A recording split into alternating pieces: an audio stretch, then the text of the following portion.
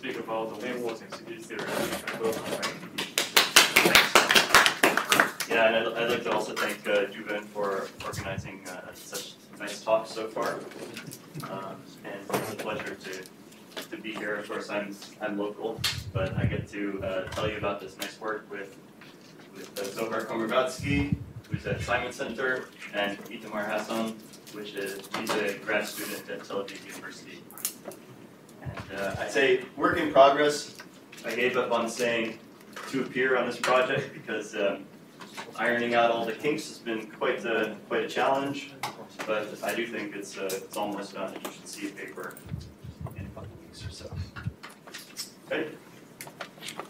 So, the topic is spontaneous symmetry breaking. So the, the basics of spontaneous symmetry breaking are to note that we can have a potential which, for example, this potential. By the way, see, here from Tel Aviv University, we have some funding that help people to come from. Oh yeah? Yeah, from Israel. Okay, then maybe we can get him to visit. We should talk about it.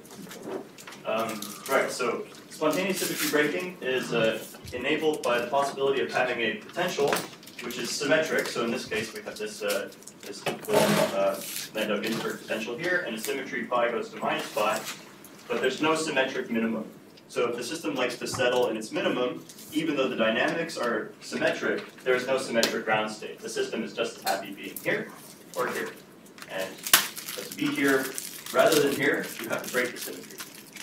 Now, in a quantum mechanical system, the solution to this is that it settles into a superposition of this minimum plus this minimum, and the state that's this minimum minus this minimum is another eigenstate of slightly higher energy. But in a quantum field theory in a many-body system, where phi is some function of space as well as time, we can actually have uh, we can forbid quantum tunneling by having large system size. And an interesting thing to consider in this case is the domain wall. So if we impose boundary conditions, for instance, we impose the field to be in the green minimum here and the orange minimum here, these boundary conditions are frustrated and the ground state includes a domain wall. So the domain wall has some energy cost where the field has to make its way over the mustache here, but uh, it is nonetheless the lowest energy state to just have a straight domain wall here. There's a, there's a zero mode, there's equal energy where you put the domain wall, but there's also Goldstone modes um, of the broken translation invariance. And those Goldstone modes correspond to fluctuations of the location of this domain wall, and they're massless. Their stiffness is set by the potential and the stiffness of the field phi, which is called the order parameter. And the question is, can we get anything else on the domain wall? So there is one possibility one can imagine, which is that uh, these two regions are in different SPT phases. So an SPT phase is a phase with a unique ground state um, that supports edge modes. So if these are in different SPT states, then we expect some extra gapless degrees of freedom along the wall. of course, this picture is a little bit, uh, has some tension with the Z2 symmetry because these, uh, these ground states are, so, are supposed to be indistinguishable from each other. And we might just as well imagine that we have the opposite situation, where the SPT is on this side, trivial state on this side. It's not really a good way to assign the phase to either side. At best, we can say that their difference is some SPT phase. Here I've assumed it's an SPT for some unbroken symmetry G. So because the Z2 symmetry has to map this vacuum to this vacuum, it means that it acts as a SPT entangler. Tell you what that is.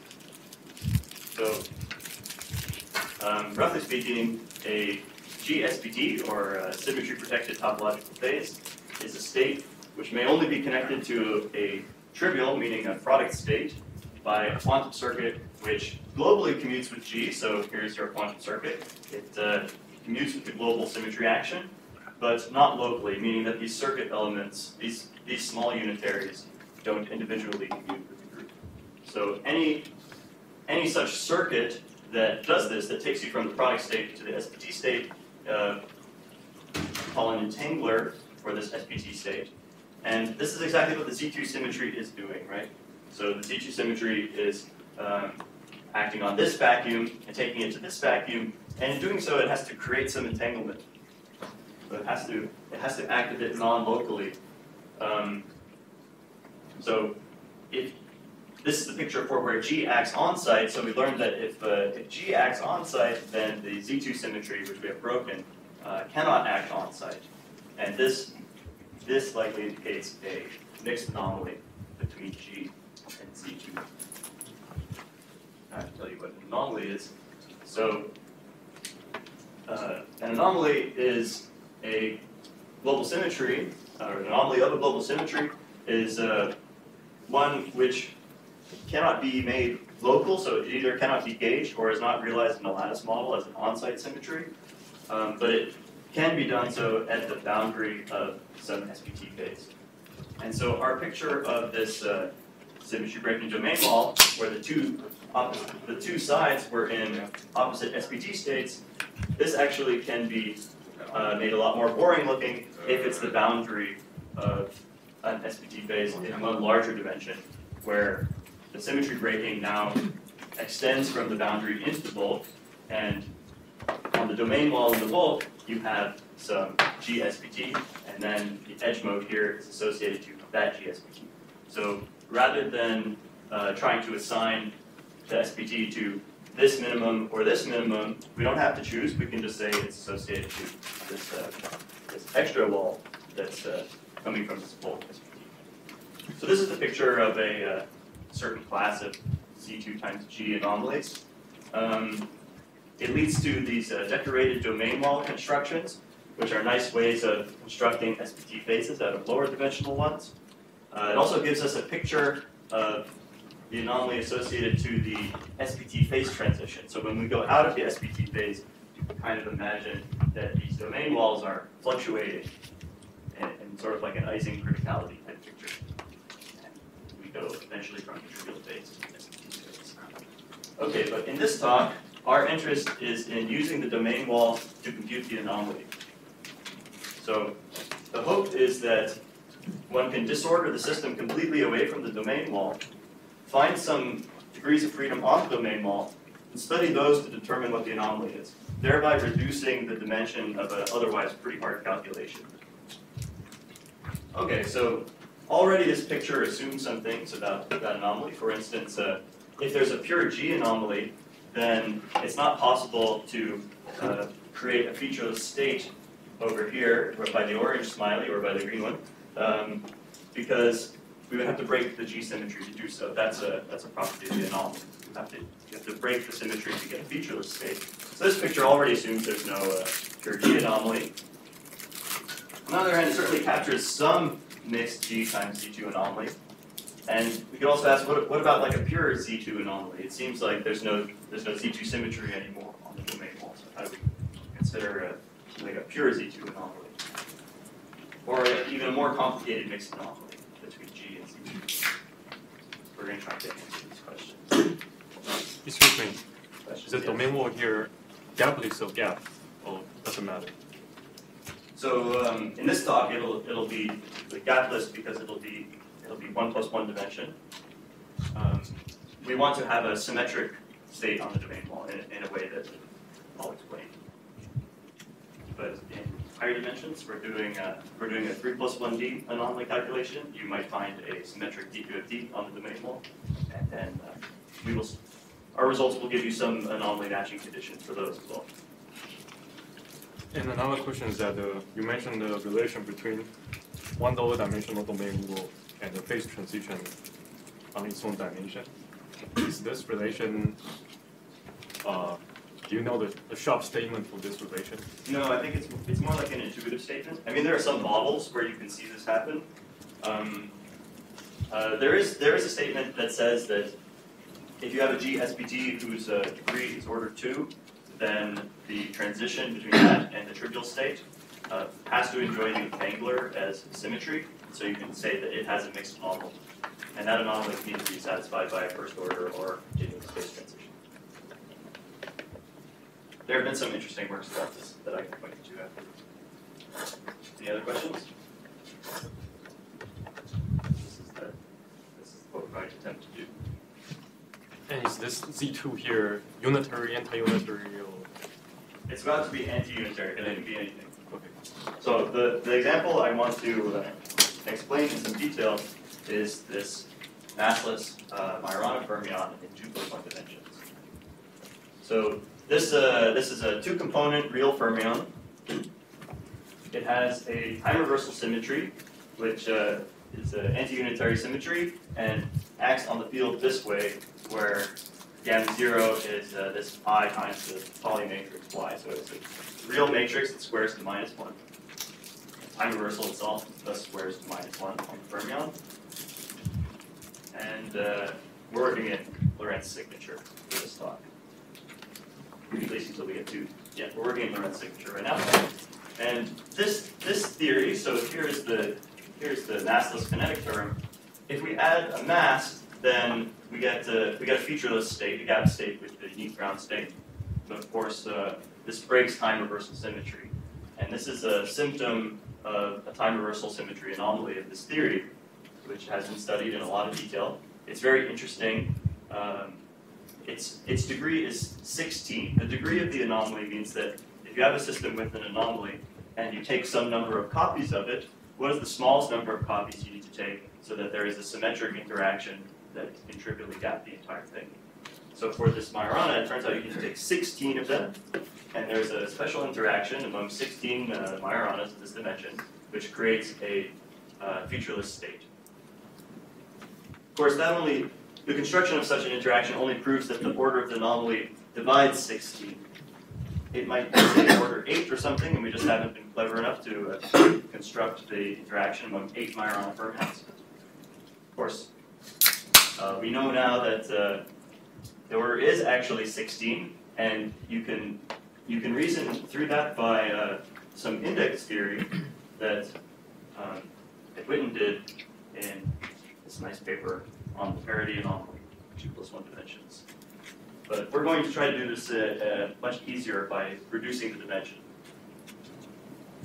Okay, so the mass the mass term is not uh, symmetric, but it's a good idea to have it anyway uh, by promoting it to a field. So this so-called spurion analysis. So we introduce a scalar field called spurion, who which is odd under time reversal. So psi will transform the same way, and we'll just have some some basic uh, uh, terms for this scalar, so typical kinetic term, some potential. That's going to be the potential that I wrote before a bit. And we have this uh, Yukawa interaction, which says that when phi gets an expectation value, it acts as a mass term for the fermion. Okay, so this theory has the same anomaly as the theory without the scalar, because the anomaly is preserved by all symmetric deformations, and without breaking time reversal symmetry, a mass term for phi, which is just phi squared, is t-symmetric. And so if you just give that a really large parameter, you can integrate out phi, and we're back to the theory of the three fermions. Okay, so now of course, we want to create the domain wall.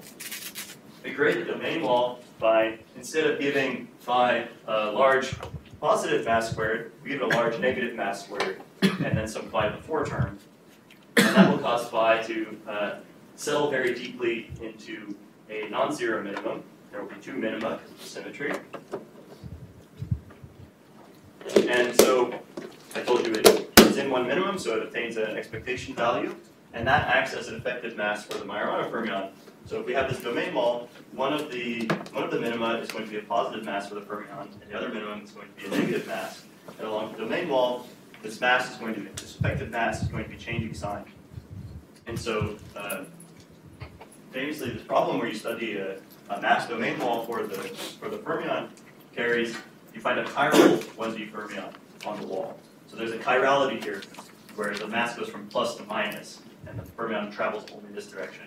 It went from minus to plus, it would travel the other direction. Okay, there's no way to get rid of this mode. You can't write a mass term for a single chiral fermion. And it's, uh, it's also a symptom of the anomaly. It's, uh, in fact, it is an anomaly of this 1D theory, this 1 plus 1D theory. It's a so-called gravitational anomaly, because if you try to write a partition function for a chiral fermion, you'll find that it, uh, it depends on extra details of the manifold, such as framing. Okay, so this is intuitively another symptom of the anomaly, and it kind of tells us that the anomaly is at least uh, order two, right? Because, uh, well, sorry, I'll get that. So we want to, we want to get ahead of myself. So we want to know the order of the anomaly. Um, so we're going to ask how many copies of this uh, picture do we need to take before we can get rid of the domain wall? Make it just like only the Goldstones on the domain wall. Yeah. okay, so we take n copies of what we just did. Well, at least at least n flavors of the Majoranas. We still have just one scalar. We'll have them all coupled to the, to the scalar in the same way. And so you just get n copies of this mass domain wall problem. So for each of the n uh, two-dimensional fermions, you get one uh, chiral 1D fermion on the wall. So there are n chiral 1D fermions all moving in the same direction, and you can't get rid of those either for any n. So these have a gravitational anomaly, uh, which is an integer value, which is just given roughly by the chiral central charge. And so you can't get rid of them for any n, there's no term you can write down. Um, does this mean that the time reversal anomaly is infinite order? Well, of course, the answer is no. Um, the first lesson you get from that is that uh, the original anomaly, which we know a priori is Z mod 16, does not determine the anomaly on the wall. Because there's no there's no surjective map from Z mod 16 to Z. Okay, so that's that's the first lesson. It's already an interesting one. Let me give you a uh, another you know another example to illustrate this, which is that we take two Majoranas Except now the scalar couples to each of the Majoranas by the opposite sign. So one of them is like phi psi bar psi, the other one's minus phi psi bar psi. So because of this, the effective masses are have opposite signs in two regions. So one of the effective mass one fermion is going from positive to negative, the other one is going from negative to positive, which means that one of them contributes a non-chiral a chiral going this way, the other one contributes a chiral going that way, So the sign changes of the effective masses, um, they go in opposite directions. So we have a non-chiral mode on the wall. So it looks like you just write a mass term for this non-chiral mode. There's no gravitational anomaly anymore. So now we wonder, is the anomaly actually just order two? Or can you just say that this is invertible as opposed to order two? This just means you can cancel it anomaly. Yeah, well, it means that uh, we took two copies of the system and we trivialized it by trivializing the domain. Uh, outside Yeah, order two always means up to some invertible thing. So featureless for me uh, includes SPT when we're talking about the anomalous theory. All right, so the answer is uh, no, it's not order two. Um, so there are some extra conditions on the interaction on the wall. Are there any other questions about this example? Yes? So right now, these massive uh, sites, uh, they are not SPTs, right? Or Well, I said that you should not uh, try to assign SPT labels to Okay. either side of the wall because they're indistinguishable.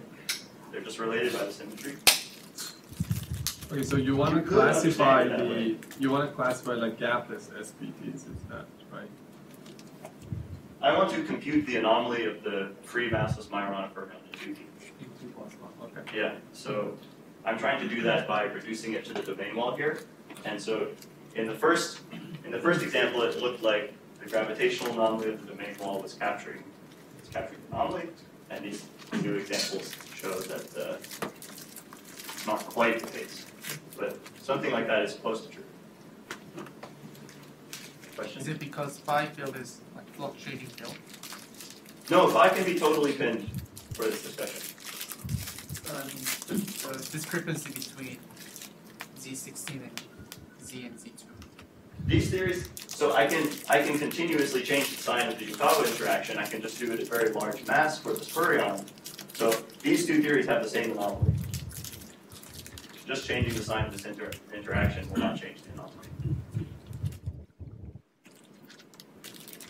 Yes. So the second lesson is not complete then, or isn't you haven't really given us the Well, I'm going to tell you the extra conditions. okay. Okay, so to, so I'll go, so to derive those conditions, um, we have to think about the way I'm going to phrase it is that there are extra symmetries on the domain wall that we need to take care to uh, account for. And uh, well, what are, the, what are those symmetries? First of all, we have this broken Z2 symmetry. Um, it actually does not act on the wall. There's some uh, some interesting uh, controversy about this in the literature. Some people say that well, because the domain wall is like between the two vacua, then the symmetry acts on the wall, and others say no, the symmetry doesn't act on the wall because it doesn't preserve the boundary conditions. Um, I side with that point of view. Like strictly speaking, the symmetry exchanges the boundary conditions, so it doesn't act on the Hilbert space. This theory, but there is a symmetry associated to it that we'll find. And intuitively, what we want to do is we want to combine our global symmetry with a reflection across the wall. Because the global symmetry will exchange the vacuum on the two sides, and then the reflection symmetry will flip them back. So the combination of these two symmetries does act on the wall. But we have to choose our reflection symmetry carefully. In the Majorana, if we choose just the, the usual reflection symmetry for this Majorana field, we actually find that that has the same order 16 anomaly. And uh, when we put these together, we get a symmetry that always acts trivially on the wall. So that's not really good. And, uh, actually, we kind of expected that because there's no time reversal anomalies for what these systems, just time reversal. So to get a symmetry, we're going to have to invoke Lorentz symmetry, which is something special to these field theory problems. Um, I'll say a little bit later about what we, what we want to do on the lattice. So uh, a field theory like we've studied, the free Majorana plus the scalar, has Lorentz symmetry that's generated by spatial rotations and boosts. And boosts are like a change of reference frame. It acts as a hyperbolic rotation. So this matrix, you imagine acting on a vector xt, or, or like uh, yeah, x at t. And uh, a point that is not often appreciated is that only rotations actually have unitary operators associated with them. Because to have a unitary operator on Hilbert space, you have to actually preserve the spatial slice. So rotations preserve the spatial slice, but boosts tilt it. So, so boosts don't have an operator associated with them. But you can sort of, uh, or you can associate an operator to one particular boost, which is a weird one, where this normally real parameter, the rapidity, is set to i pi. So what does it mean to do this? Um, if you're studying correlation functions uh, in real time, you'll find Usually you find that it is uh, convenient to do uh, I epsilon uh, prescription, where you add a slight positive uh, imaginary time to the real time. and in fact, you can uh, add not just epsilon, but arbitrarily large. You can, you can analytically continue correlation functions to uh, the upper half plane in the time coordinate, not the space coordinate, but in the time coordinate. And when you do it all the way so that your times are completely imaginary, then we find that it's no longer the Lorentz group that acts, but it's the Euclidean group. And the Euclidean group, um, you get a rotation between uh, space and now imaginary time, where gamma is now imaginary. And, well, those don't give you operators either, uh, because they don't preserve the spatial slice, except for one of them, the one that flips the spatial slice all the way over actually preserves the spatial slice, not pointwise, but it preserves it.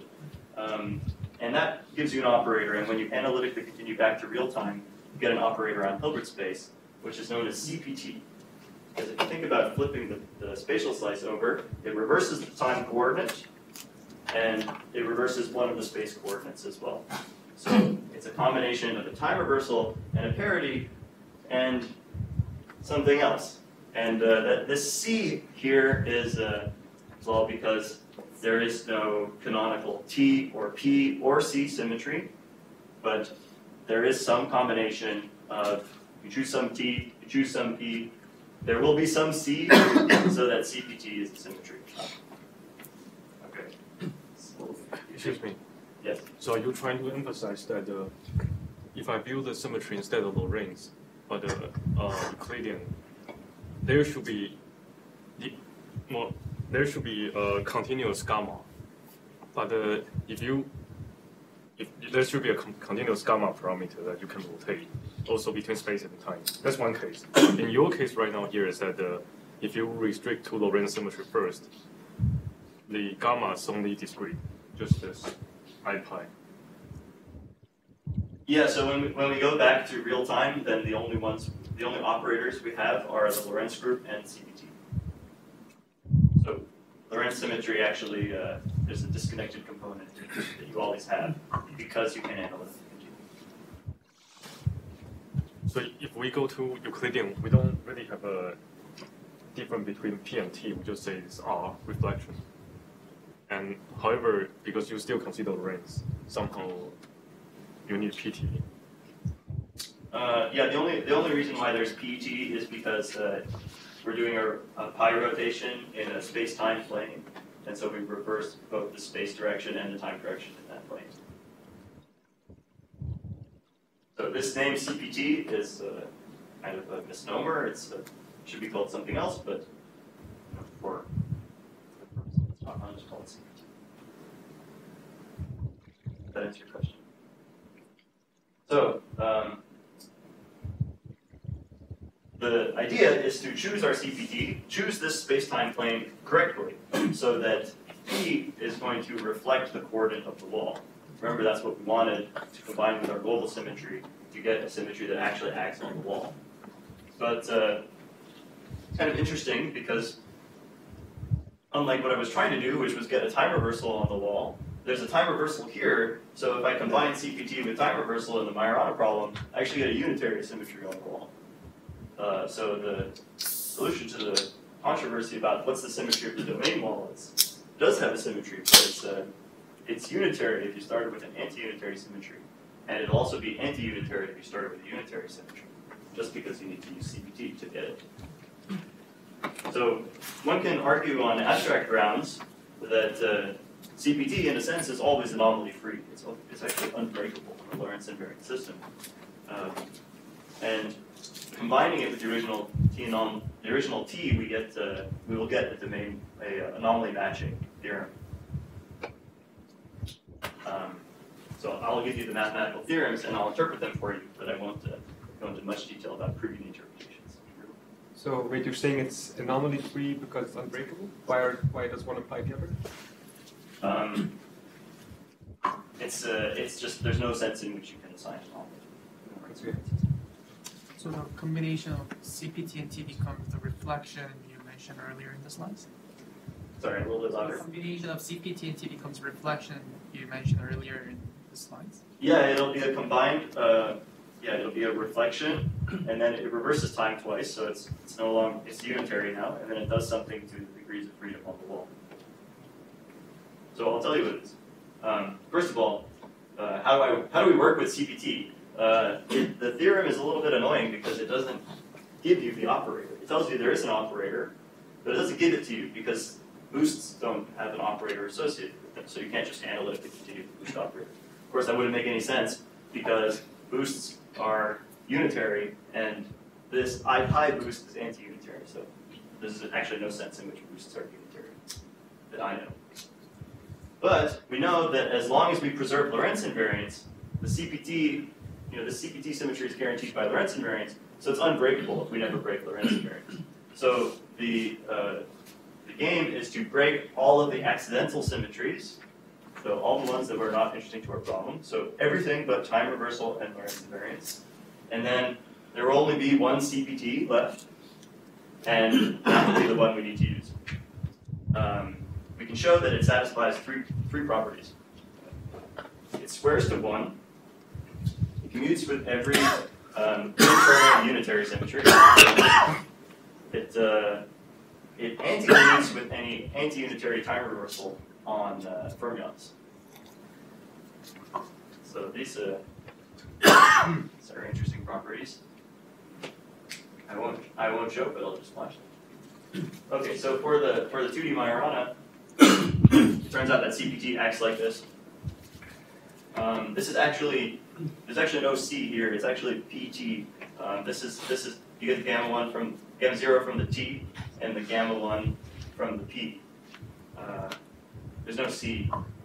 But if you were to combine two of these Majoranas into a Dirac fermion, so you do that like this, like psi 1 plus i psi 2, now this is a two-component complex uh, fermion, then in order for these to have the same uh, you know, charge under T, you have to also, you have to deal with this I. So you end up having CPT when you just consider uh, two Majoranas as equivalent to a Dirac. It looks like, this symmetry looks like CPT for the Dirac. Um, I'll comment that uh, for 3D fermions, the CPT symmetry that you find in the textbook uh, differs from this one by 180 degree rotation. And that's just because they want P to negate all the space coordinates, but that's something uh, that, that works well in three space dimensions because uh, negating all space coordinates is related by a pi rotation to just negating one space coordinate. It's cleaner, so in that case you would get that CPT squares to fermion parity, right? Because you have an extra pi rotation which squares to fermion parity.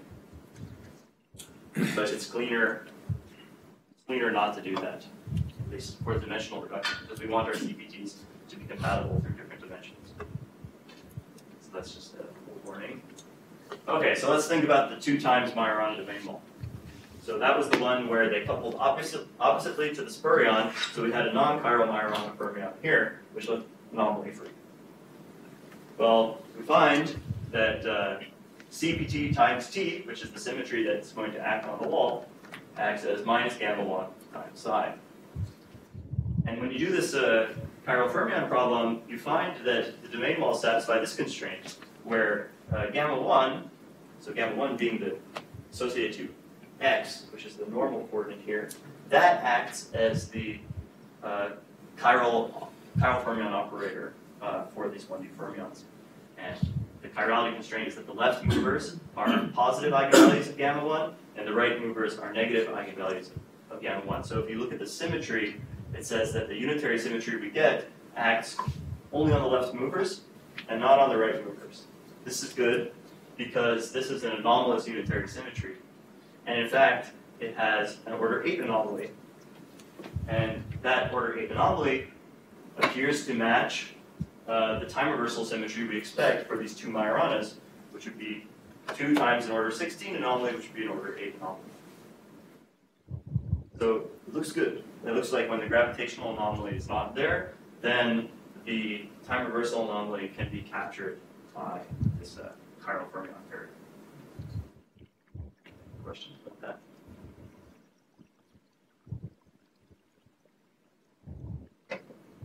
Okay, cool. So um, here's here's the question now. So we've identified two anomalies on the wall that are possible. There's a gravitational anomaly, and there's this anomaly of this unitary Z2 symmetry we get by combining time reversal symmetry with CPT. And that's an order 8 anomaly. So now the question is, there are different domain walls can, that we can construct, which will have uh, different k grav and different k descent. Um, is there some function that determines the original anomaly in terms of these for all those domain walls? We want it to be the same, some universal function that does that. But that's the, that's the question we'll answer in the rest of the talk.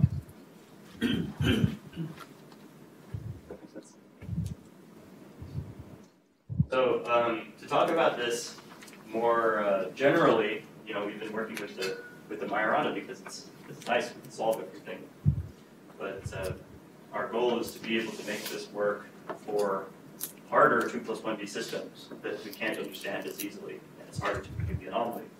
So we need to work uh, with this mathematical device called cobordism theory that uh, is related to this classification. So the anomalies, I told you an anomaly can be considered the boundary of some SPT. So there's an SPT associated with any. Um, an SPT, you can consider its partition function on a closed spacetime. Now the spacetime can be Euclidean.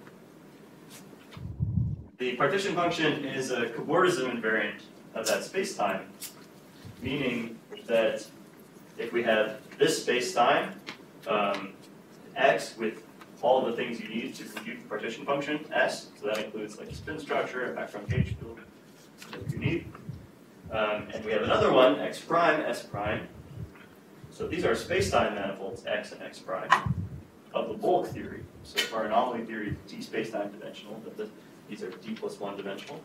If we have some d plus two dimensional manifold now, y s prime, where x is one boundary, x prime is the other boundary, and moreover, there's all the same structure on this manifold, so including gauge fields and spin structures and orientations and stuff, such that if you restrict it to either boundary, in this case you get S, and in this case you get S prime, the existence of such a manifold implies that the partition functions of the SPT on X and X prime, the structures S and S prime, are simply equal. So this is a very strong constraint on partition functions.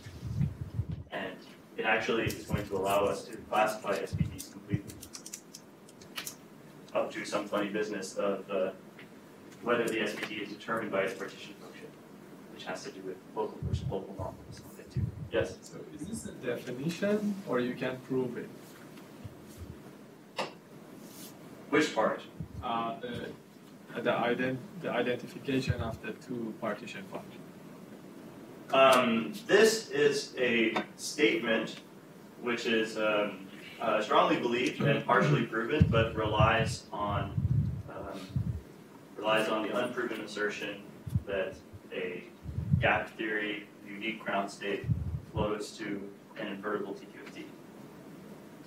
But it's uh, I would say it's uh, it's at least a Six Sigma result.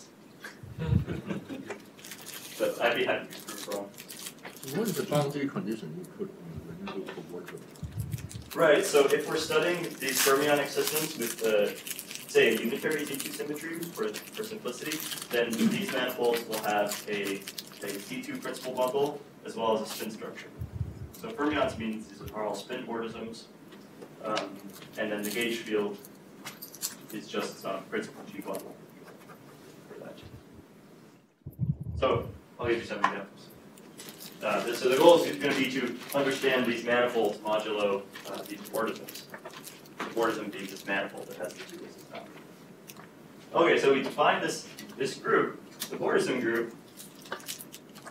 We'll say its elements are represented by a closed end manifold, some kind of structure, and a map from X to W, where W is some space.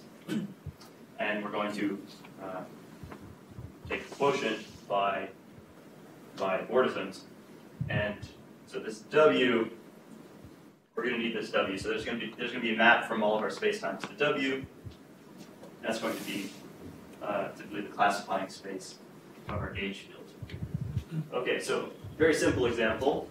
Uh, this is the so O here means unoriented, or you can think of it as no structure, kind of like zero, but it actually stands for orthogonal. Um, the bordism group of zero manifolds. Okay, so zero manifolds are just uh, isolated points.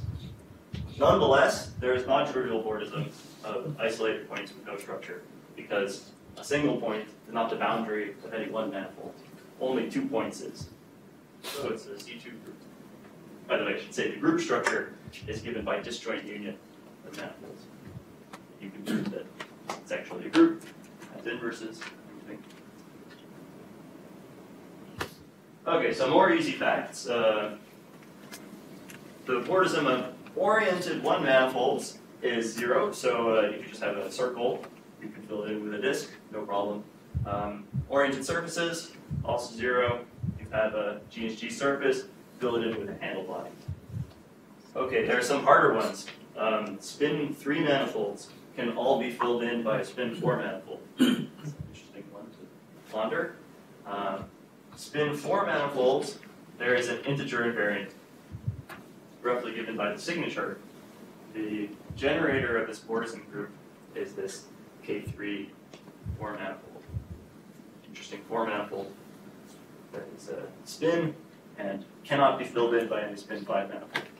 In fact, no matter how many disjoint unions you take of it, you cannot fill it in by a spin five manifold. Okay, so the one relevant for us is this Z8. I told you there is an order 8 anomaly in 1 plus 1D associated to a unitary symmetry. So that anomaly of 1 plus 1D system will be associated to a 2 plus 1D SPT, and that 2 plus 1D SPT will have a partition function that pairs with spin 3 manifolds equipped with a Z2 gauge bundle. So, in other words, just a map to BZ2. And it turns out there's a Z8 of such manifolds, and so there's also a Z8 of, uh, there's at least a Z8 of these phases, but there's a, there's a caveat, which is that although this 3 has Z8, this 4 has Z, and when we go to phases, which is dual to manifolds, we have to shift the Z's down a degree. So this, this Z, what it becomes, it becomes a gravitational Chern-Simons starting from three dimensions. So the group omega upper 3 should have written it. So omega. So the group of SPTs, which I just write this way, with the three on top, because they pair with the one with the three below, like computing partition function, that this has the Z8, which is detected by computing it on uh, these spacetimes. It also has has a Z, which is the gravitational Chern-Simons terms.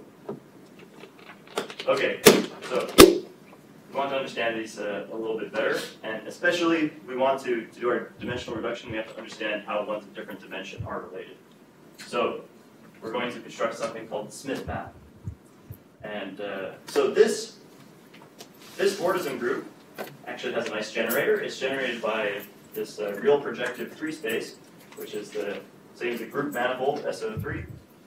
And you can give that SO3 a non-trivial Z2 gauge field, and it has two spin structures. But either spin structure you choose, it's a generator of the Z8.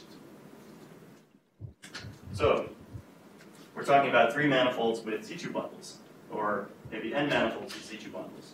Uh, any such bundle, there's an associated line bundle, because you can you can uh, you can get gluing gluing functions for a line bundle using the Z2 where whenever you have a holonomy that's non-trivial in the Z2 group, the line gets reflected.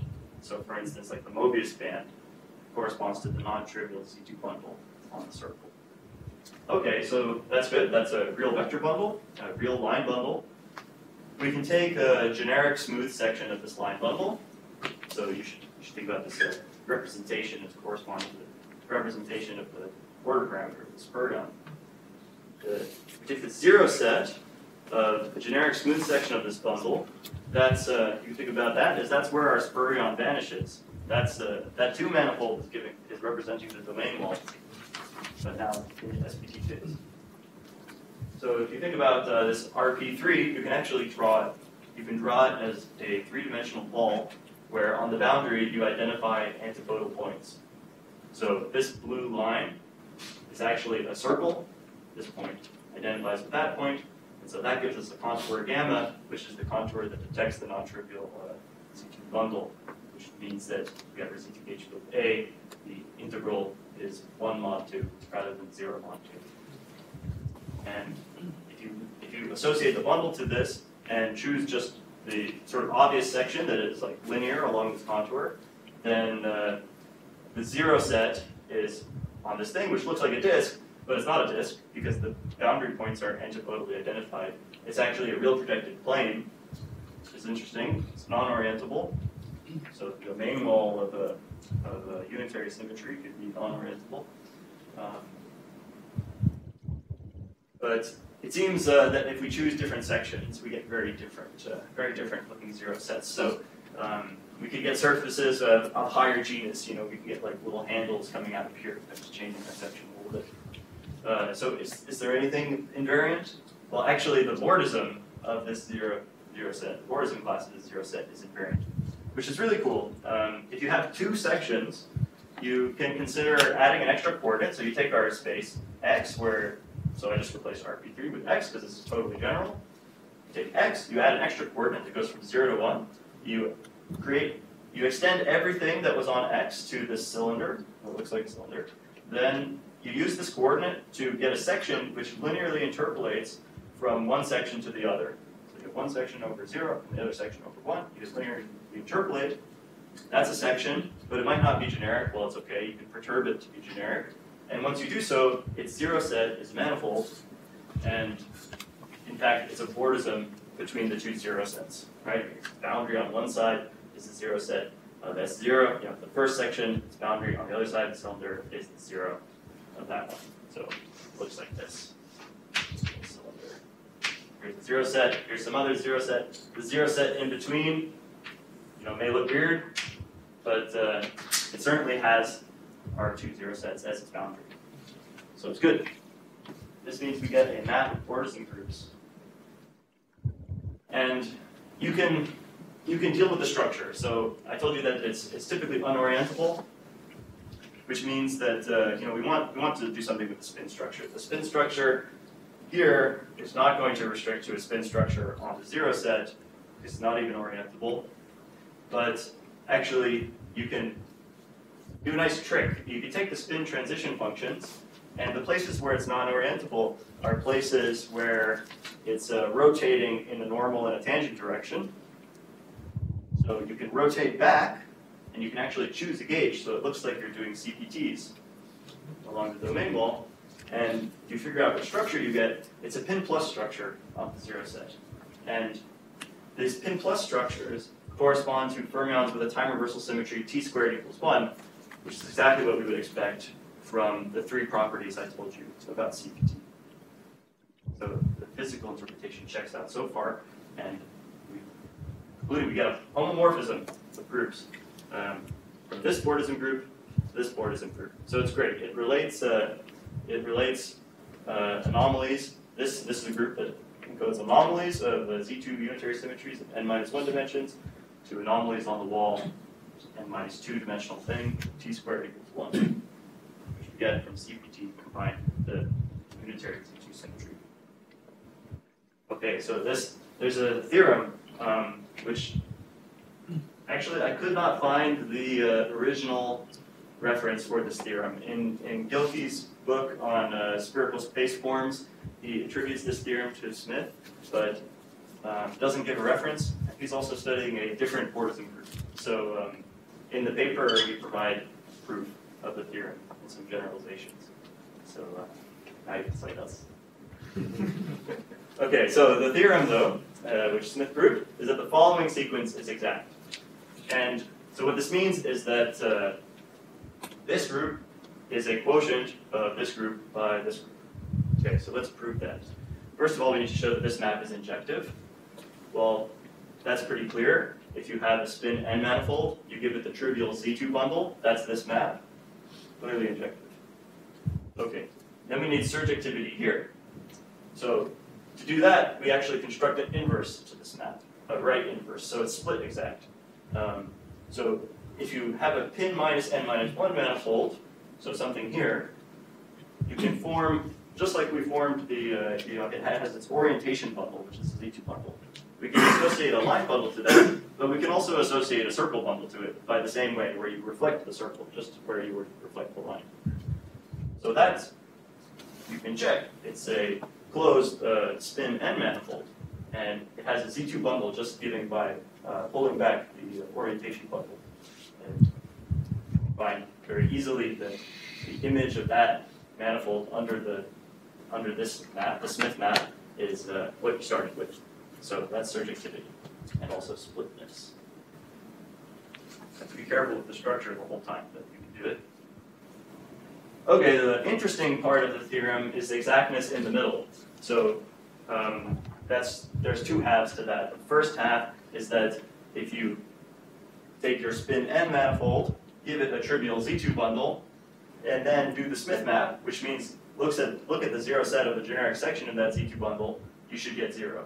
Well, that's because if you have a trivial Z2 bundle, you can choose a generic section with no zero set.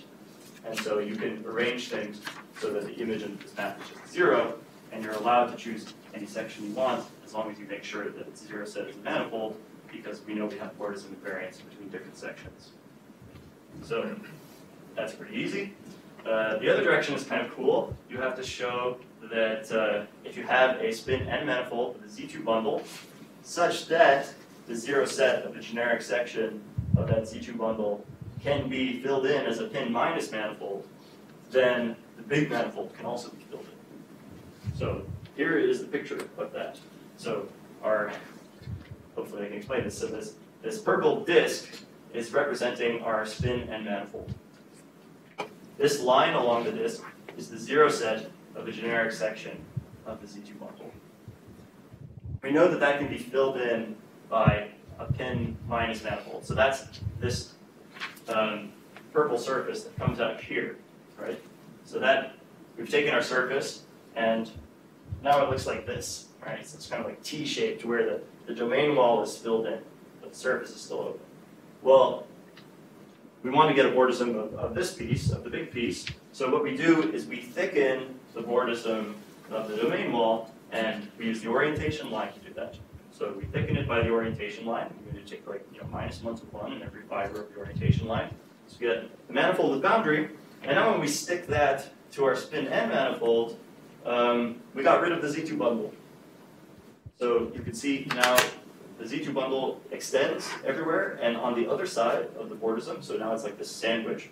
So on the outside of the sandwich, there's no more domain wall. So we've got rid of the domain wall. Which means that we're in the image of this map, right?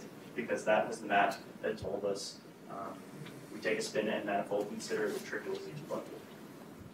So that's the proof of the Smith isomorphism.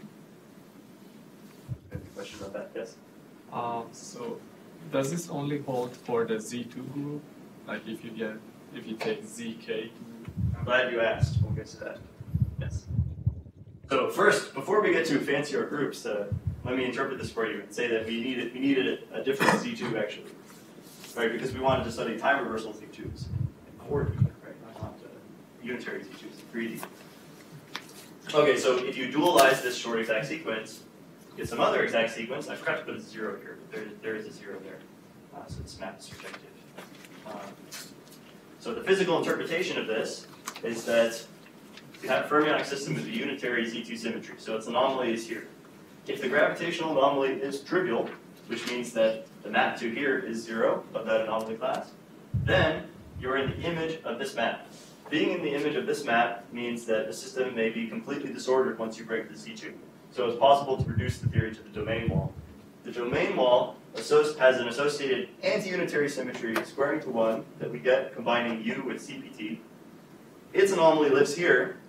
The image of that anomaly has to be the anomaly of the bigger theory. So this uh, exact sequence gives you the anomaly matching for the domain wall in this special case. So for n equals 3, for instance, we get this nice result that uh, you have this group, this Z8 times Z that I wrote here. If you don't have any gravitational anomaly, then you can reduce to the wall, and the wall is, uh, we're talking about a now an anomaly of a 1 plus 1D system, and so the wall will be a 0 plus 1D system. We'll find some number of Majorana zero modes there, and that number will be uh, this quantity mod 8 identified big. So we get we get zero modes off uh, Majorana zero modes on the wall for these Z2 anomalies. It's also related to the fact that the vortex of the people type B finds a Majorana zero mode because that gives you a way of constructing a generator of the Z8. So quickly trying to do the twisted version, give you the answer for the Myron. So the prob- for the problem with the Myron is we need a Smith map for pin plus. Uh, pin plus corresponds to t squared equals minus 1 to the f. Um, a pin plus structure, so yeah, the most general spacetimes uh, for systems with the symmetry, fermionic systems with the symmetries, are pin plus uh, manifolds. Pin plus manifolds, you can think of it as it has a spin structure, but not on the tangent bundle, Tx, but uh, on this closely related bundle, Tx plus rho, where rho is uh, three copies of the orientation line. So three copies of the orientation line. Equivalently, we can think of this if we have our, we think about time reversal as associated with the Z2 gauge field, which is the orientation bundle, then that Z2 gauge field, um, we can pull back a bundle, a universal bundle, which is associated to three times the sign representation. So we write we write these uh, twisted Bordism groups this way, where you have whatever space here, usually classifying space, then you have some vector bundle over the classifying space. This means that we get a spin structure on Tx plus the pullback of that bundle by A. So in this case, this is just uh, definition shuffling. The pin plus Bordism group that we're interested in is this twisted spin guy. Okay, very good. So um, we can define the generalized uh, Z2 Smith map. Actually, for any structure, doesn't matter. We find that uh, in Bordism, you go down a dimension because you go to the domain wall. The number of twists, so for Z2, there's only one representation with the sign, which is the sign representation. So the twist is just m times the sign representation. And when you go down in dimension, um, you add one more sign representation. Pretty simple. Um, if the structure is spin, then uh, you actually get a fourfold periodicity, which is kind of cool. Uh, because four times the sign representation actually admits a universal spin structure. So these groups are the same, which is actually what we need, because we want to go from anomaly of a 2 plus 1d system with t squared equals minus 1df. Here, we want to go to something here with a unitary squaring to 1. Well, the Smith map gives us uh, naively this twisted thing. Luckily, they're equal. So we use the periodicity. Um, so this is the new theorem that we proved. So we proved uh, that this sequence is exact. Um, so basically, you just figure out which parts of the other argument uh, still work. Not all of them do. In particular, we lose we lose both injectivity here and surjectivity here. So we don't have the zeros on the end anymore. And that actually corresponds to our, our lessons. Um, so physically, what we've done is, uh, you know, it's the same physical interpretation. If the anomaly um, doesn't have any gravitational part, but your S can be any structure. So this also includes the pure G anomalies that I mentioned before. So if you don't have any of those, any pure G anomaly, G asymmetry doesn't participate in the symmetry breaking, um, and you don't have any uh, gravitational anomaly, then you're in the kernel of this map, then the domain wall has an anomaly here, and the big anomaly is in the image of that, or is the image of the class of the anomaly in the domain wall, which there could be many pre-images. And the fact that there are many pre-images is the fact that we lost injectivity here.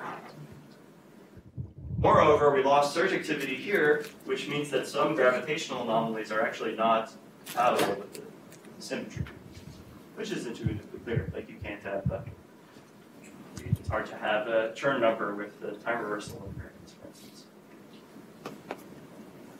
Sorry, the m here is arbitrary. M is arbitrary. Arbitrary integer. Positive. Yeah, M is an integer, arbitrary. Well, I, I suppose, uh, Or larger than two or something. well, I don't know, it can be a, it could be zero. For zero, you get the usual Smith map. More questions? So for boson the vertical. Yeah, so So- S, for- if you want to do bosons, S should just be an orientation. It's all good. It'll get a less interesting sequence, but it's, uh, yeah, works. I guess the, the, the previous one, like map from SO to O, Mhm. that also. Works. Yeah, yeah, that would be having a, right, yeah, it's like time reversal. Yeah, S can really be any structure for this theorem, which is one of the great things about it. Okay, so the answer to our question of whether there was this function um, that captures the bulk anomaly in terms of the anomaly of the domain wall is yes. So there is such a function. Even better, the Smith map tells us it's a linear function, which we love because we can just uh, compute a couple points on this line and draw the line through them. It turns out the line is this. Uh, so, for instance, going back to our example of two Majoranas where we changed the signs of the Yukawa couplings, if they're both positive, remember we got uh, two right movers and uh, no left movers. So uh, k grav was 2 and k descent was 0. So 2 minus 0 is 2 mod 16. Good. Um, if they're both negative, then we get two left movers, right? But the two left movers have both k grav is minus 2 and k descent is plus 2 and minus 2 plus 4 is 2 mod 16, so we're good. Um, if they have opposite sign, then there's no k grav, but there's one left mover, so k descent is one or minus one. Anyway. Okay, we got two. We get two mod 16 if we uh, get all our signs correct. Okay, so I'm pretty happy with that formula. Um, so there are a number of applications that I don't have time to, talk about, but you can ask me about later. Free fermions we just had as like a motivating example to try to like guide us so we don't get confused, so we can compute everything.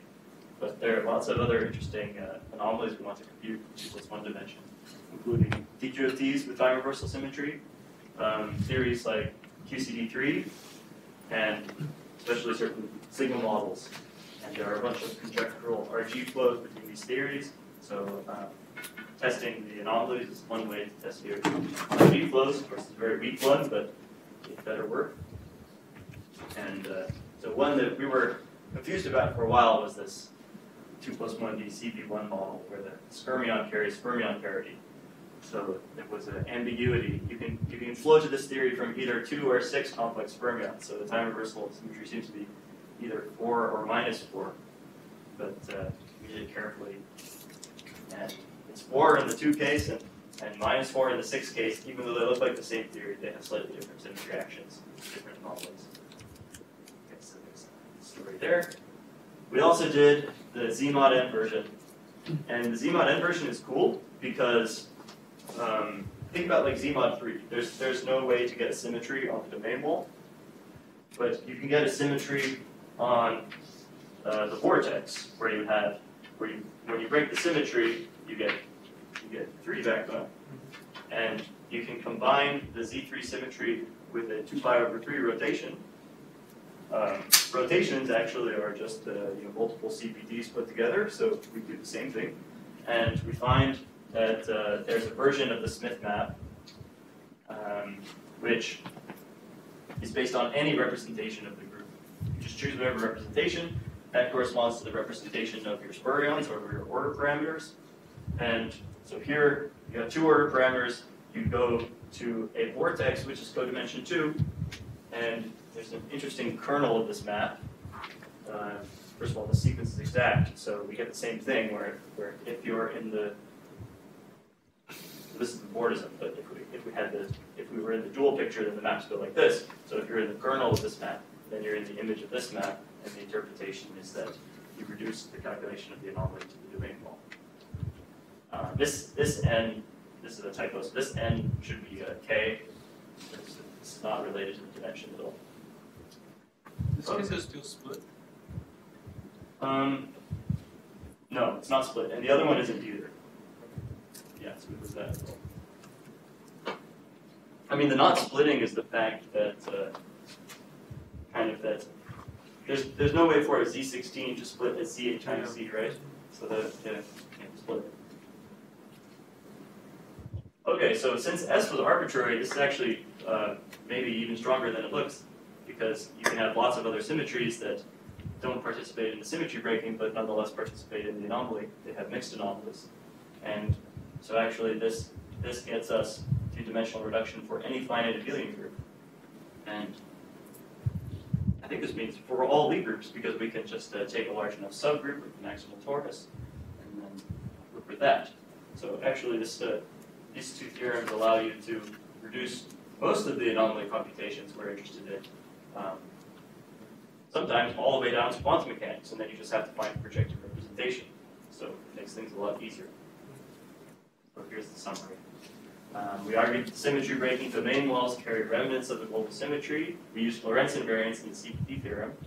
Uh, CPT had to act in a certain way for the anomaly matching to work. It's a new property about CPT. Um, we proved a theorem that computes the anomaly matching condition. And uh, these Smith theorems were, have been extended uh, to finite groups. So the remaining questions are how do you actually define the CPT operator? This would be really cool. It's a symmetry. The operator you always have is a symmetry, so it should be, uh, I don't know, it should be something uh, maybe obvious, I don't know. Um, another question is, is there a version of these theorems for, say, for K-theory, which would allow us to compute the index of uh, elliptic operators by similar dimensional reduction? This would be really useful because uh, you know there are all these indices that uh, that we're often computing to figure out like what do the vortices and fermions and monopoles look like, and it would be nice also to do dimensional reduction for those. And I think probably most uh, most perplexing is how how can this all work on the lattice? There's no Lorentz invariance, so there's we can't really invoke the CPT theorem, but it does seem like something like this is true. Um, there's this uh, crystalline equivalence principle that Dominic Else and I found about the classification of crystalline SPTs uh, ends up being in, in certain ways isomorphic to the classification of ordinary internal symmetry SPTs. And the structure of that, uh, you know, that, that can be sort of proven if you also assume Lorentz invariance. So if you assume that uh, the, the crystalline symmetries are implemented by uh, Lorentz times an internal symmetry, then that internal symmetry is what's giving you the equivalence principle. But it should be a lattice level way to do it, especially since we want to study the domain walls of the lattice. And uh, a math question, I just don't know how to answer this. How do you understand the kernels of these maps? These are quite interesting maps. You know, it's took a spin n manifold or an SN manifold, gave it a Z2 bundle with a twisted structure. It's, uh, sometimes you can fill in the manifold by using twist. So that's quite interesting. I don't know how that happens. Anyway, thanks for your attention.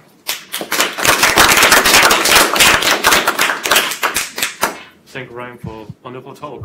And any questions? For this uh, D3 case, uh, did you study some example with the vortex? Um, uh, yeah, there, there are some examples that you, that you can construct. Um, the Abelian linked ones give, give some examples where this is part of like the, the magnetic symmetry. So then you have a mixed anomaly between um, this Z3 subgroup of the magnetic U1 and the SO3 symmetry, and you'll find a uh, spin a half there. So that's your projective representation. So that's where S is taken to be um, SO3 manifolds.